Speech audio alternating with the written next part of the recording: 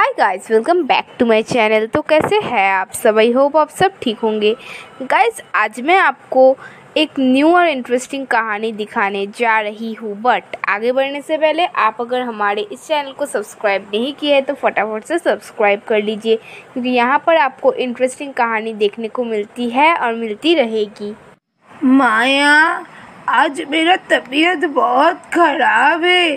जंगल से लकड़ी लेकर आ। हाँ दादी, अभी लेकर आती हूँ। लकड़ी काटते काटते मैं थक गई हूँ, जाकर बैठ जाती हूँ। हाँ इतना रात हो गया, मुझे जल्दी जल्दी घर पहुँचना है। दादी तो मेरे बिना खाना भी नहीं खाती है। बेटी, इतनी रात तक उस जंगल में क्या कर रही थी? तेरे लिए मैं तो फ़िक्र करते करते मर ही जाऊँगी। तुझे पता नहीं जंगल का रास्ता रात के लिए कितना खतरनाक होते हैं। ओ दादी मैं लकड़ी काटते काटते थक गई थी इसीलिए इतना रात हो गया। आप पर फ़िक्र मत करिए। चलिए हम दोनों मिलकर अब खाना बनाते हैं। हाँ बेटी चल चल हम दोनों मिलकर अब खाना बना लेते हैं। ऐसे डायन बन के मैं और कब तक भटकूं। मुझे कोई इंसान चाहिए। उसका खून पीकर मैं उसका रूप ले लूँगी और इस दुनिया में घूमूँगी, फिरूँगी, नाचूँगी, गाऊँगी।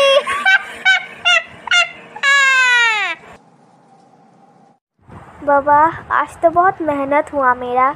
लकड़ी काटते काटते मैं थक गई। अभी मैं घर नहीं जाऊँगी। थोड़ा देर यहाँ पर बैठूँगी, फिर चली जाऊँगी। ये खूबसूरत लड़की यहाँ पर क्या कर रही है? हाँ मैं इसका खून पी जाऊँगी। पहले मैं अपना रूप बदलूं, उसके बाद उसके पास जाऊँगी, वरना हाथ से निकल जाएगी। अरे बेटी रास्ता भटक गई हो क्या? इतनी रात को इस जंगल में क्या कर रही हो? नहीं नहीं दादी मैं यही पास वाली गाँव में ही रहती हूँ। लकड़ी काटने आई थी। लकड़ी काटते काटते थक गई हूँ। इसीलिए सोचा थोड़े देर यहाँ पर बैठ जाऊँ। मैं कुछ देर बाद ही चली जाऊँगी। चलो तो फिर मेरा घर चलो। मैं बहुत अच्छा अच्छा पकवान बनाती हूँ। खाना खा के घर चली जाना। जब तक तो तुम्हारा थकावट भी दूर हो जाएगा। नहीं नहीं दादी। मेरी दादी ना मेरे लिए घर में इंतज़ार कर रही होगी। मैं अगर जब नहीं आऊँगी वो खाना नहीं खाएगी। मैं यहाँ रोज़ आती हूँ। मैं एक दिन आपके घर में खाना खाकर जाऊँगी।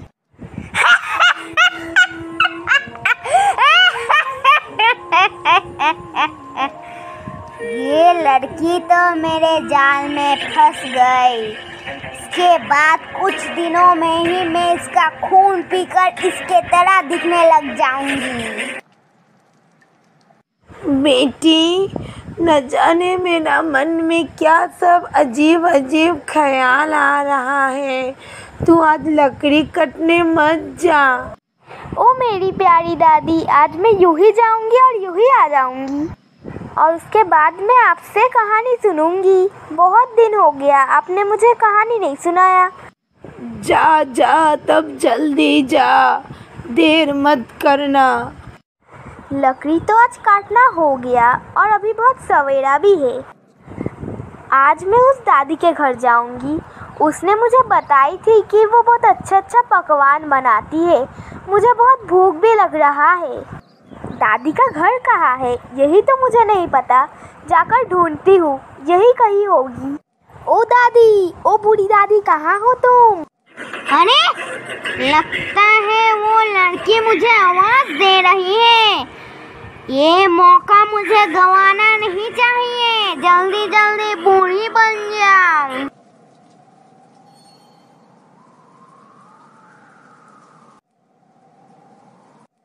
अरे बेटी, आओ, इस घर में आओ। तुम सही रास्ता पर ही आई हो।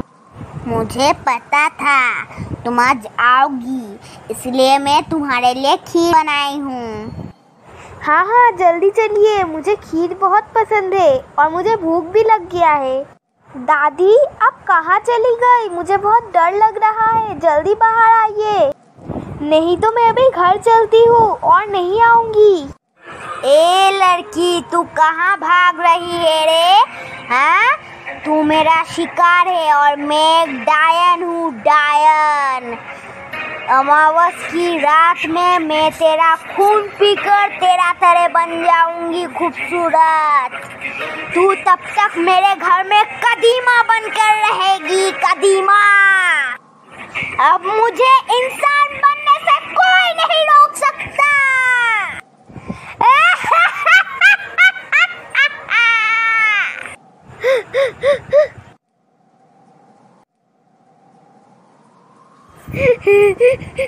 दादी, कोई मुझे बचाओ। दादी, मुझे बचाओ। कोई मुझे इस डायन से बचाओ। मैं तो एक कदीमा बन गई हूँ। अब मुझे कौन पहचानेगा?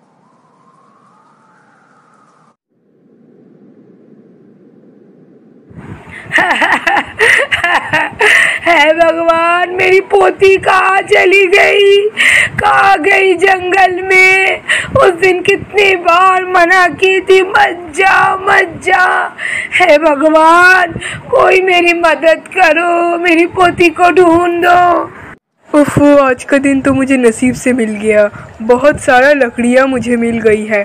एक काम करूँगा, आधा अपना पास रखूँगा और बाकी लकड़ियाँ बाज़ार में बेच के पैसा कमा लूँगा। कोई मेरा आवाज़ सुनो मुझे बचाओ। इस डायन से मुझे बचाओ। ये क्या? ये लड़की की आवाज़? मुझे क्यों लग रहा है कोई लड़की मदद के लिए चीख रही है? और आसपास में तो कुछ मुझे दिख भी नहीं रहा है। बहुत अंधेरा है। मुझे कोई बचाओ कोई मेरा मदद करो। नहीं अब मुझे आगे जाकर देखना ही पड़ेगा कौन चिल्ला रहा है। मुझे उस लड़की का मदद करना ही पड़ेगा। मैं कदीमा के रूप में एक लड़की हूँ। मेरा आवाज़ सुनो मुझे कोई बचाओ।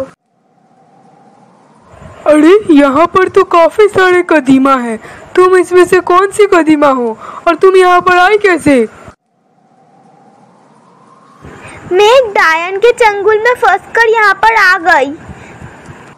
मुझे इस डायन ने कदीमा बना दिया। और कुछ दिन बाद वो मुझे खा जाएगी। आप मुझे इंसान बना दीजिए और इस डायन से बचाइए। मैं आपको कैसे बचाऊं? मेरे को तो कोई तरकीब भी नहीं पता। और मुझे लगता है वो डायन के साथ साथ एक जादूगरनी भी है। इस गुफा के अंदर एक लोटा है। उसमें थोड़ा पानी है। आप वो पानी मेरे ऊपर छीट दीजिए। मैं फिर से इंसान बन जाऊँगी। मगर अभी नहीं। अभी आप छुप जाइए। वो डायन आने ही वाली होगी।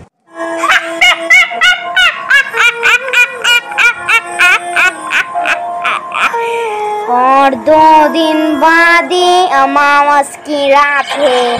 और मैं तुझे अमावस की रात में ही खा जाऊँगी। और मैं तेरी तरह देखने लगूँगी।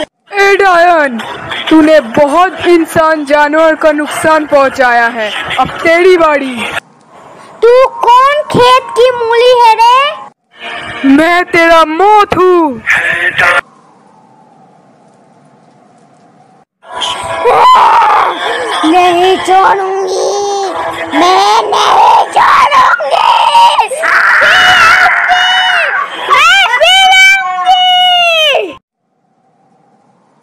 क्या हुआ? क्या हुआ? उस डायन का क्या हुआ? अब ठीक तो है ना? तुम चिंता मत करो अब सब ठीक हो गया। उस पाक पानी से वो डायन भस्म हो गई। अब तुम भी ठीक हो जाओगे पहले जैसे।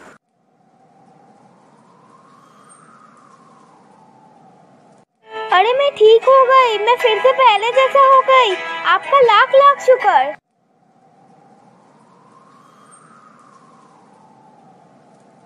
आप पहले मुझे मेरे दादी का पास लेके चलिए वो बहुत परेशान होगी। मैं तीन दिन से लापता हूँ। हाँ जल्दी चलो इस जगह से। इस जगह में ज़्यादा देर रुकना ठीक नहीं होगा। आज हमारी कहानी की नाम थी एक थी डायन। सो ये कहानी आप सबको कैसी लगी? गाइस हमें कमेंट में बताना। अच्छी लगी हो तो लाइक कर देना, हमारे इस चैनल को सब्सक्राइब कर देना बेल आइकन और में प्रेस कर देना। और गाइस अगर आप सबके मन में भी कोई कहानी देखने का दिल कर रहा है तो आप लोग मुझे कमेंट में बताना। हम जल्द से जल्द उस कहानी को अपलोड करने की कोशिश करेंगे। Thank you